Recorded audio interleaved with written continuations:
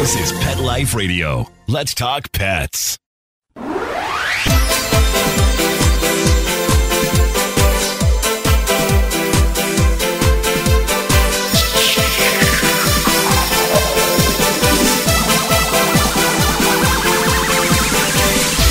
Hello!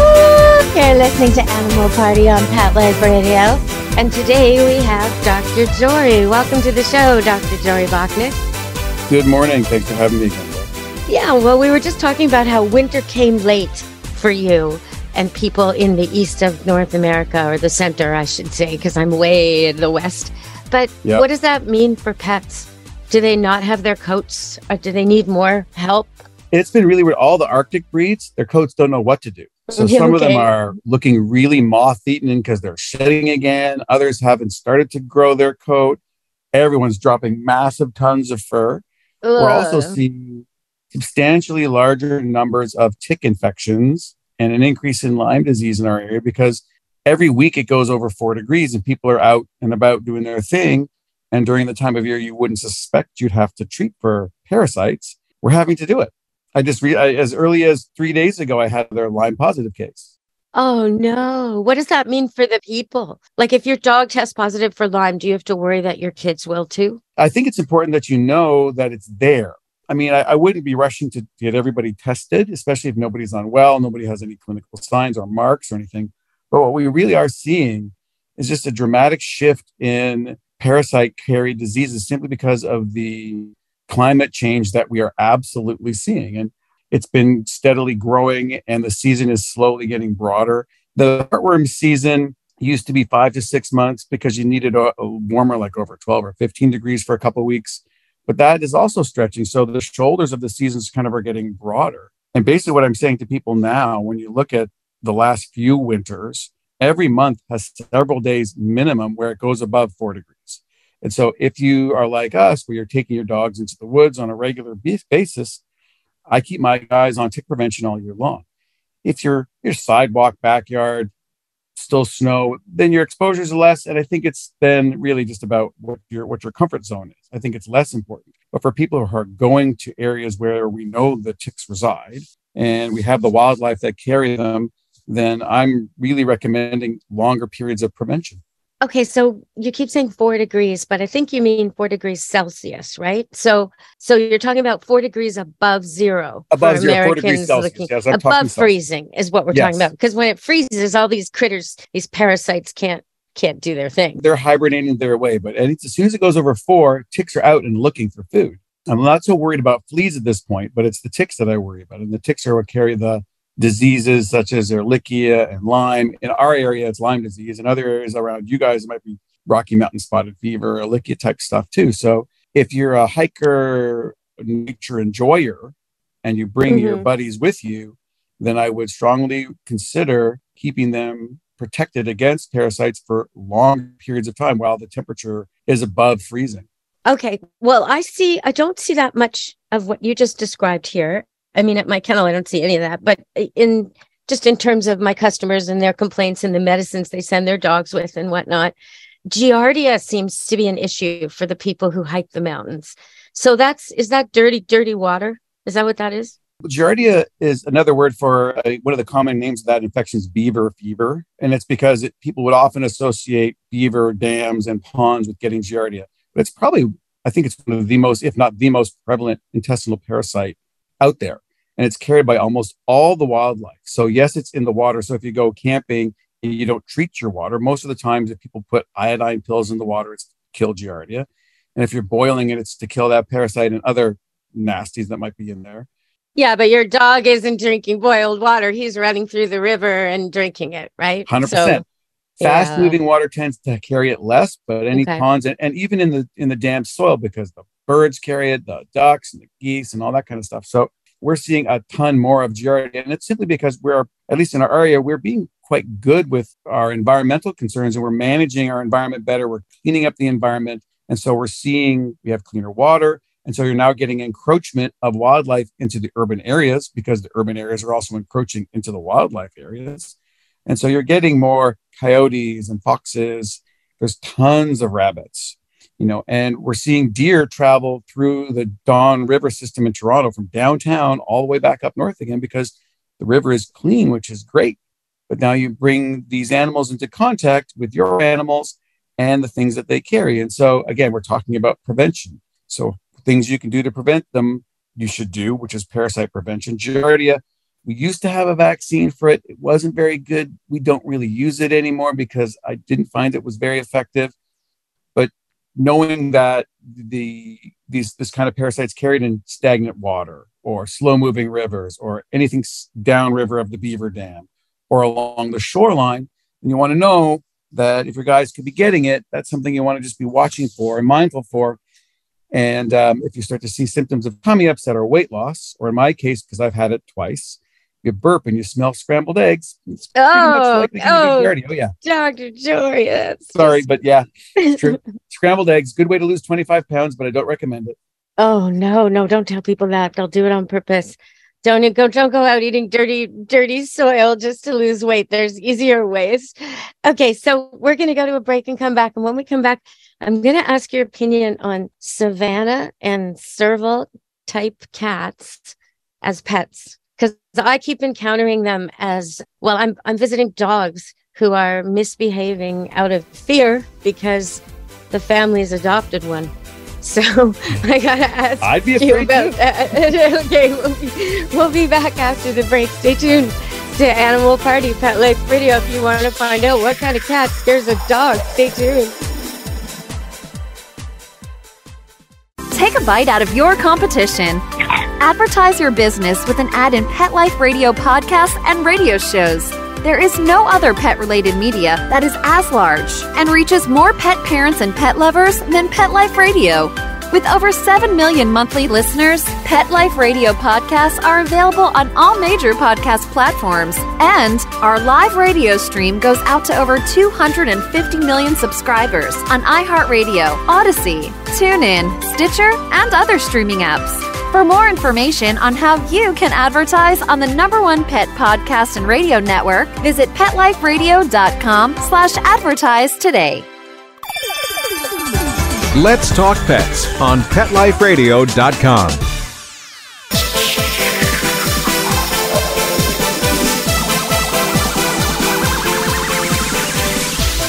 Hello! We're back with Animal Party on Pet Life Radio with me, Deb Wolf and Dr. Jory.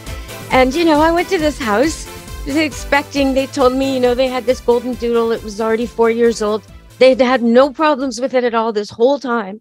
They have another dog too, an older kind of layabout sort of carpet dog, very elderly. And then this, this happy go lucky trained golden doodle who all of a sudden is scared of its own shadow and um, you know it's one of my dogs so born at my place so i right away go over to investigate i gotta fix this what's going on and lo and behold they got like a tiger upstairs so what uh, and the lady tells me oh no we with the dogs don't go upstairs i said why don't they go upstairs she's like well even my children when they visit they don't go upstairs either oh how old are your children oh they're in their 20s uh, okay what scares a 20 year old what kind of cat scares a 20 year old dr jory this goes to the the fads of getting animals that people find cool and apparently exotic and wild is cool but unfortunately, they're wild animals and they're predators. And of course, the dog's afraid because the big serval or savannahs, they're looking at them like dinner. Yeah, well, this cat was looking at me like dinner. It came down the stairs. She was like, Oh, I can't believe it came down the stairs. He never comes down the stairs. Yeah, well, he sees dinner has just arrived well, in my my body. I mean, this cat was watching me. And you know, the lady showed me the curtains, the curtains which have now become sort of like Tarzan swinging vines. Sure. Yeah. Well, you got to feel bad for these cats because yeah, they're they're made for Africa. hunting and traveling and doing. So genetically, they're driven to do, and we're trying to. it's like trying to, to trying to turn them into you know, a Persian cat. Well, they're not. They're huge too, people. They're really, really big. Yeah, they're big. I mean, you wouldn't be able to keep a bobcat in the house. You know, that's about the cougar. size, right? Yeah, they're actually some of them are bigger. And than a bobcat. So they're smaller than a cougar or a lion or a very yeah. large dog, but the cat is a superior predator to the canine. The feline is so much superior. So when they're in this little 10 pound package, we don't really notice that they're a lot more mighty than a dog. But when they're bigger, like 30 pounds, holy moly, or 40, those nails, those claws, wow, no, no little well behaved golden doodle's going to be able to contend with that in the attic. And well, and, and again, you've got this animal keeping it in a small space. It's highly intelligent. They're supposed to spend a lot of time looking for food, using their intelligence, using their physicality, and then you cramp them in a tiny spot where they should have kilometers of territory to roam. Now they have a couple hundred square feet and they're going to be happy there. And unfortunately, you see a lot of them on social media posting how nice they are and how fun they are. You know, it's like people who keep other exotic creatures like primates I think it's cruel, unfortunately. I think the people are well intentioned, most of them, but it's cruel to the animals because you can't let them live the way they're intended. And then they come into conflict. And when the conflicts happen, the conflicts are horrible. Well, when you talk about primates, I mean, the people I've seen with them mostly are getting something, some kind of positive feedback from the neediness of the infant primate. Sure. But as soon as that primate ages into an age of sexuality and adulthood, they tend to abandon them because the animal's no longer this little baby with big eyes that hangs off them and is so sweet and you know compelling now it's actually got its own desires and needs and wants and it's really strong and and unpredictable they think well, it's not unpredictable to a monkey but it's unpredictable to a human and it's not a little baby anymore and that's the thing these these i'm sure this serval this they are just adorable as kittens but a month and later there's cool factor you can't deny it but it's it's a lot more than 99.9% of people are prepared to be able to handle and it's not fair and the outcomes always almost end tragically and that's where i end up getting involved and I would prefer never to have to be involved in another one of those cases again. But they're yeah. read- unfortunately readily available, you know, and unfortunately people are prepared to buy them and there's no regulation. And now what do you do? What do you do when it's 35 pounds and everything's been fine until someone has to go to the hospital? Well, yeah, like what if they attack a child? I mean, they very well could. You know, it's uh it's not these it's, are the things that happen. And just go back to thinking about what this animal was designed to do and how we're keeping it. And it's unkind, in my opinion, it's unkind to confine such a highly developed predator and try to turn it into house cat because they're not because we can't provide the range, you can't provide the stimulation, you can't provide the exercise that they need. Well, or even the primates we're talking about. I mean, you're not a monkey. Your family isn't a monkey family. Like, this is not ideal whatever you no. whatever your good intentions are it's not it's not the best for the monkey no i would consistently argue that that is the case it is not in the best interest of the animal or the raccoon or the deer or i mean people adopt wildlife that's injured which is great but it needs to then go to a rehabilitation center that can get it on its way as opposed to live a life of strangeness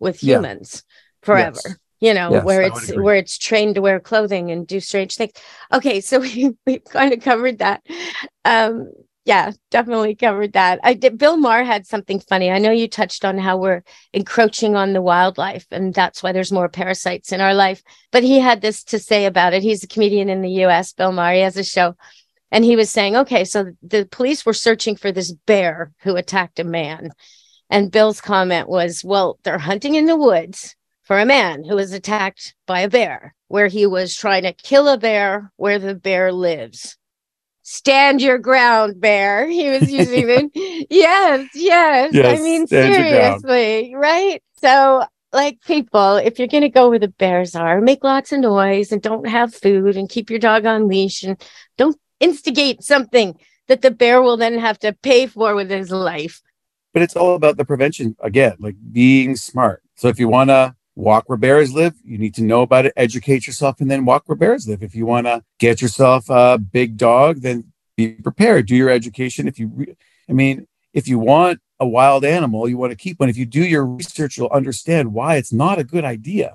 You know, I'm thinking when you said it goes above four, so it's plus from zero, there must be a lot more bear encounters with the bears sort of half hibernating. I would think so. I'm not sure this year. I haven't heard from anybody yet about numbers or whatnot, but I would think that could be very much likely.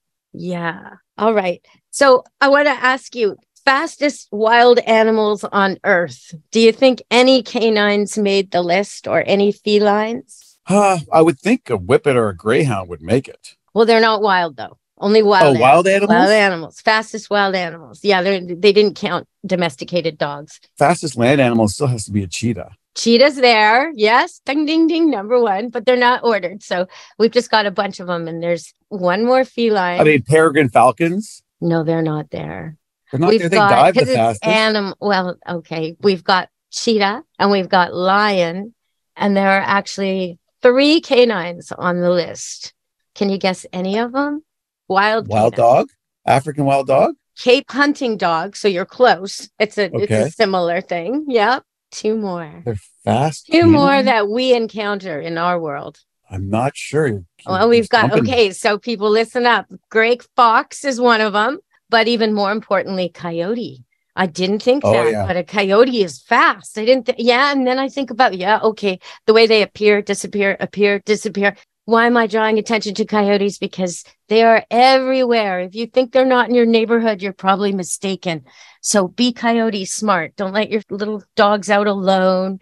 Be with them all the time. You know, there's a guy in LA with a van and he goes around and he picks up little dogs for people. They pay him to exercise their little dog in the back of his van on one of those what do you call those things where you walk treadmills treadmills on a treadmill because people in that neighborhood are so housebound from coyotes. They can't even walk their little dogs on leashes anymore. So they are uh, very much preying on pets. So watch. We, we lose about three or four dogs a season this, really? in the last couple years to, to, coyotes and cats for sure. With cats, well, outdoors. and you never know. What's the biggest? That's how we got our most recent kitten. Oh, the mama. We got our most recent kitten this summer because her mother was eaten by a coyote when she was about two weeks. Oh, she was. you had the bottle feed, or did you put that off on your text? No, are you kidding? My wife was walking around with her sweatshirt backwards, and the kitten oh, living yeah. in the hood, sitting in front of her for a month. Yeah, no, I get it. I yes, I get it all too well. So people, you know, when you see wildlife and you think maybe it's abandoned,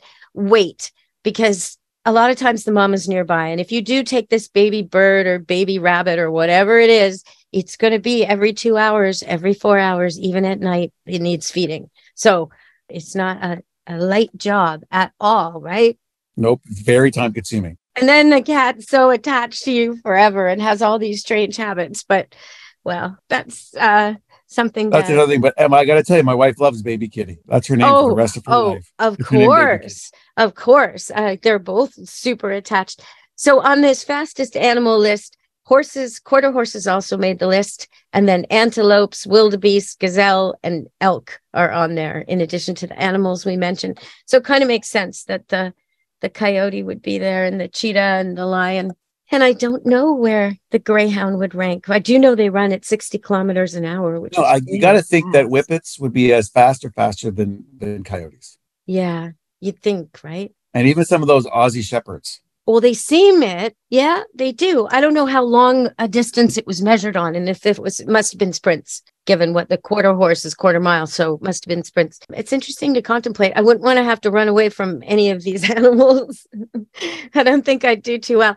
And you know what? If for people listening from Florida, alligators are surprisingly fast on land. On the sprint. Yes, they are if you're golfing or something and you see one and you think eh, it's it's way in the distance, yeah, maybe for you it's in the distance, but for the alligator, you are very short distance away. It can get to you fast, fast. So be very, very mindful of that, especially with pets. You know, you don't want to be throwing fetch into ponds you don't know in areas where there's alligators because that's just what's the biggest dog that was ever taken by a coyote in your practice? I think they're all like most of them were Yorkies.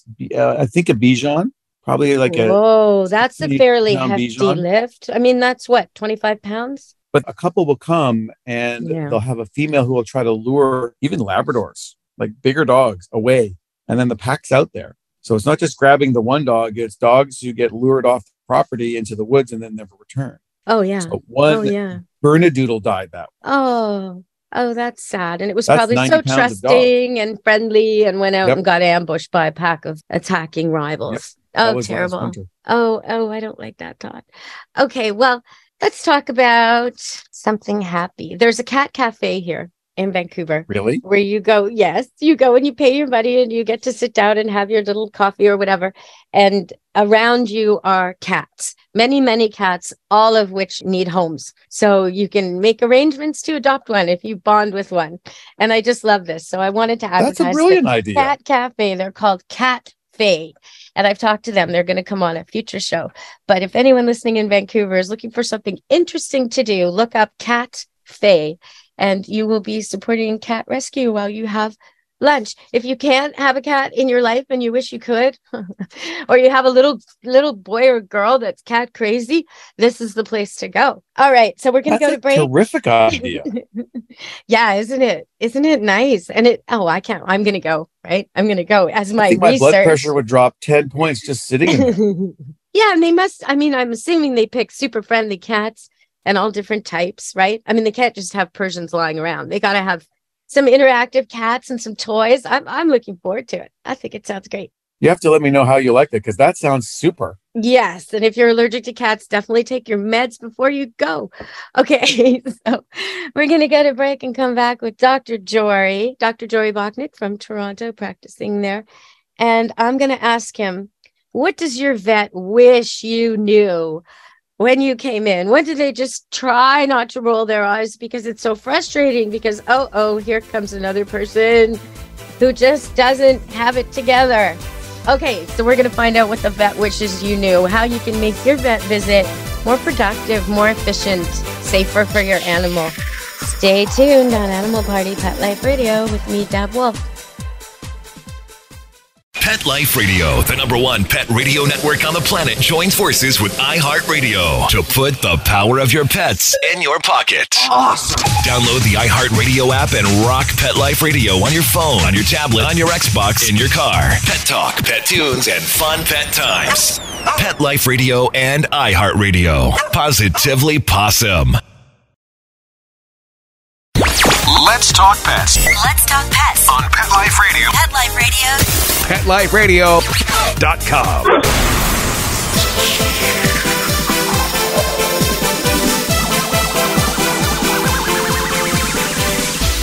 Hello, we're back on Animal Party Pet Life Radio. And it's Deb Walt hosting with my guest, Dr. Jory Bocknek. And I've just asked him what would make your life easier and happier? What What do you wish your customers, your clients, the dog and cat owners, what do you wish they knew? Well, I think it falls in sort of like two categories. First one would be how to make the experience as pleasant and stress free for their pet.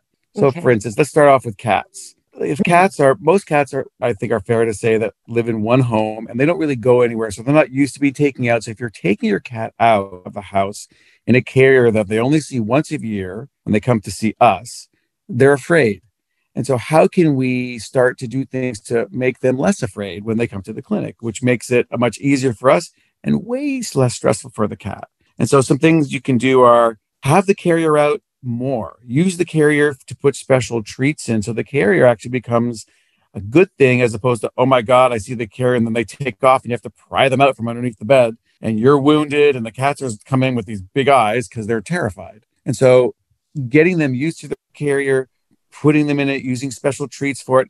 And they've got these really good pheromone products now where you can spray it to make it relaxing. You can use even catnip. So the the carrier no longer is a thing to be feared but it's a thing to be enjoyed and it's a sort of like a refuge similar to how a dog would view their den and so then when you they're things to us, now they're not there. all fun.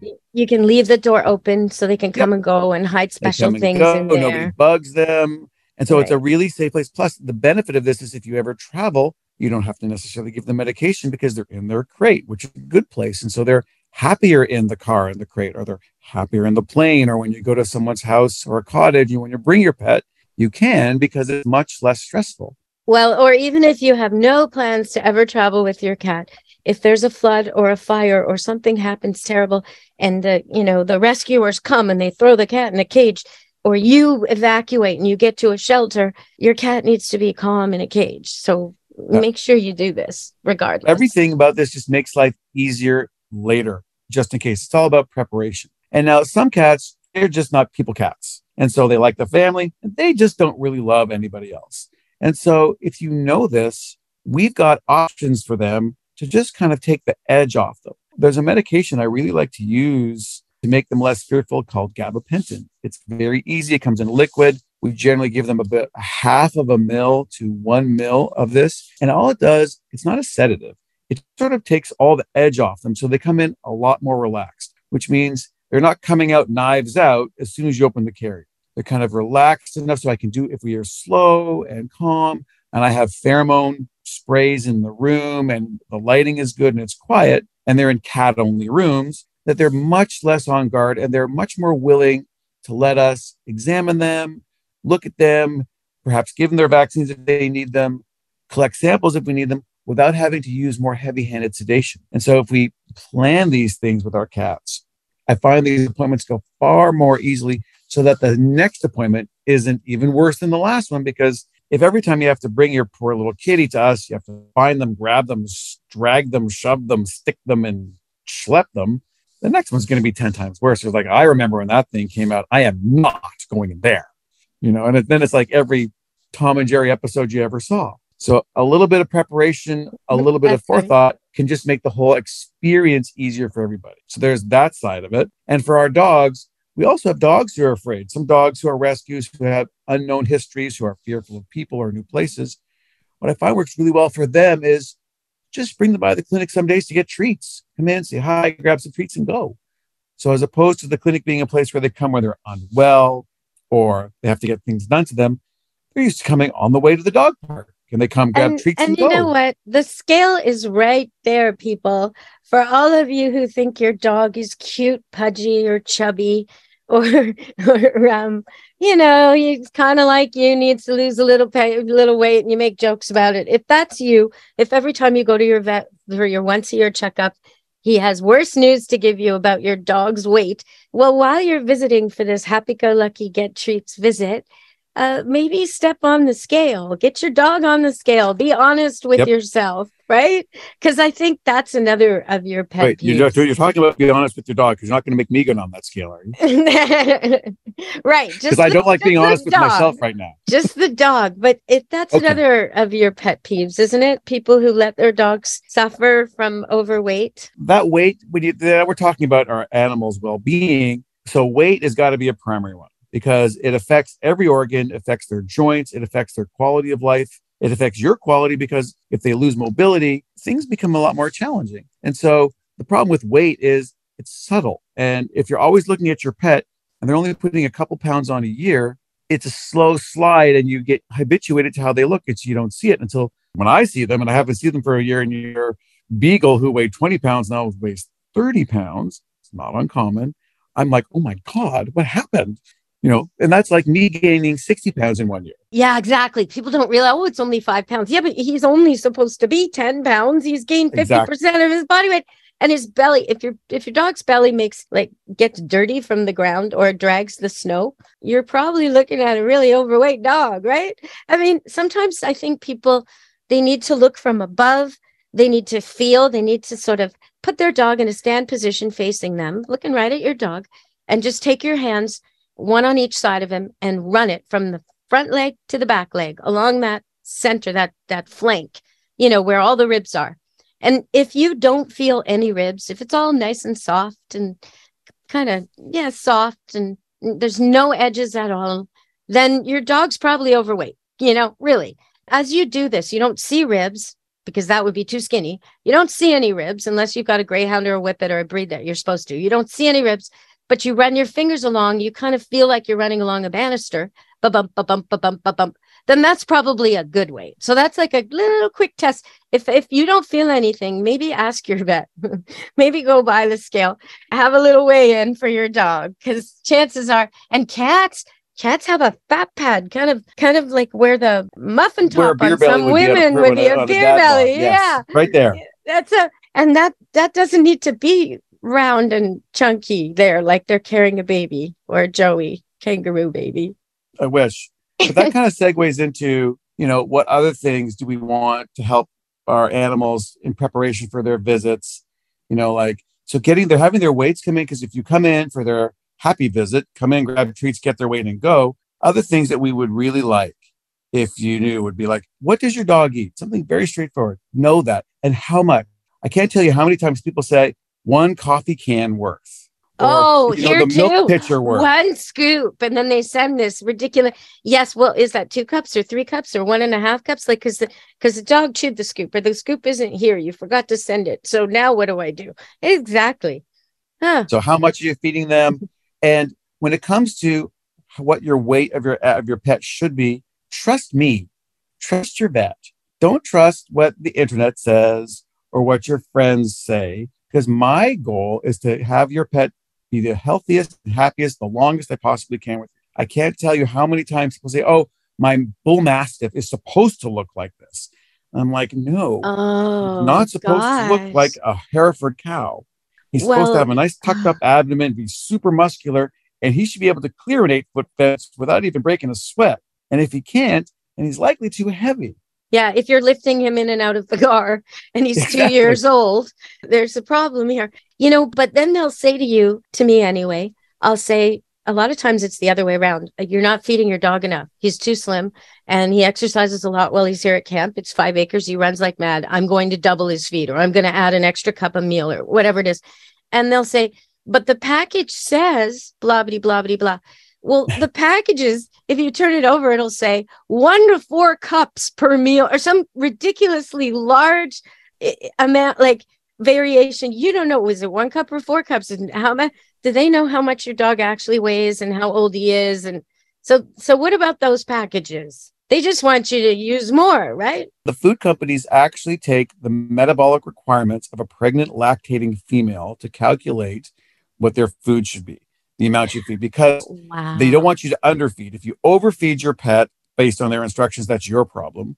But if you follow their instructions and your pet dies of starvation, that's on them. So every every single food that you'll buy in the grocery store or pet store is overfed.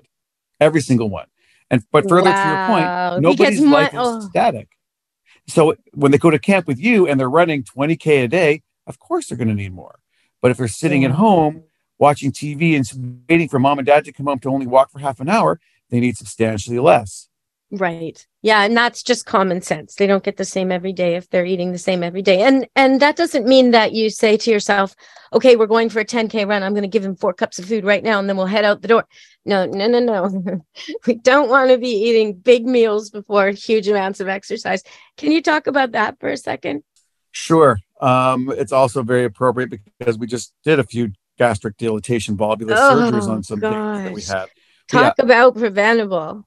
Preventable. So here's a, well, here's another one. Like you wouldn't eat a huge lasagna before you went to play baseball or football, just or hockey. You just wouldn't do those things. Don't your dog will be more than happy to eat that, but when they run, it's going to give them gut rot. It's going to get them sick. And some of these deeper chested dogs, it can act like a little bit of a pendulum. We're not exactly sure of how it happens, but it can result in some significant um, disease processes, which there's which you can result in twisting of their bowel, twisting of their stomach. You want if you if you're going to have a big run, a big exercise, you want to be mostly empty on the inside.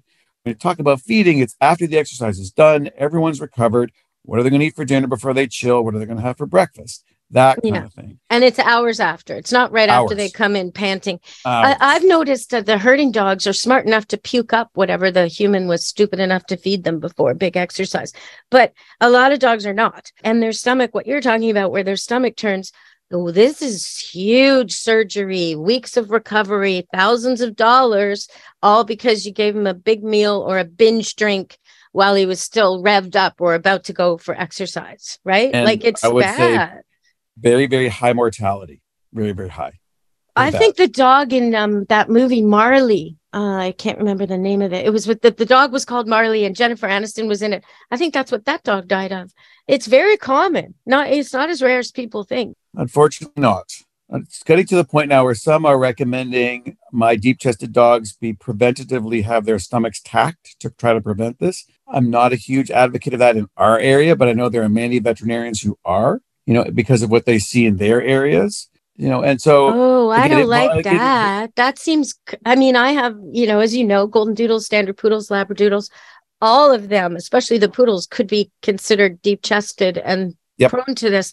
And I've never had any, but I tell all my owners, you know, don't overdo binge eating, binge drinking right before. And there's some dogs who have strange habits, like they like to run through the river drinking while they run, or a strange thing like that, that you would kind of have to train them out of so you don't get this problem. You know, you, you just try. want them. Yeah. One of my dogs like to find sprinklers and he would get his foot, stop the sprinkler from moving, stick his mouth over it, fill his gut up. You'd watch it blow up like a balloon. He'd step away, barf, and he would do it again oh, that's got to be allowed. Yeah, of course it was. It was. See, some, yes, some of course it was. All my dogs are broken. The the vet, just like the shoemaker's children that have no shoes. The veterinarian has the worst dogs. It's true. Oh my gosh. Oh, that's terrible.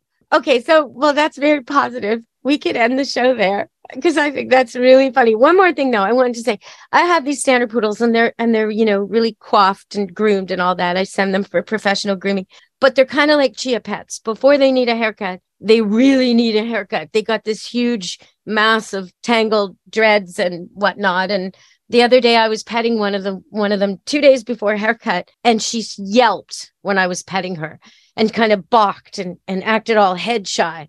And it, you know, if I just went on with my day and ignored that, thought, oh well, it was just maybe it was a static shock. I'm not going to worry about it. La la la um, I might not have noticed something very big because this is a dog who's super cuddly, loves to be touched. Okay, why is she doing this?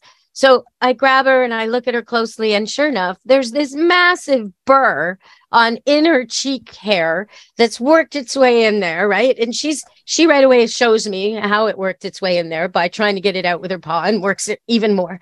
And it's like, you know, so simple. I can get that out of there, no problem. She'll have a great day. But if I leave that, and leave it and leave it and leave it, it's going to become a veterinary emergency. And you know, it going to a an infection. Oh, yeah, or a hot spot, or I don't know, some something really gross.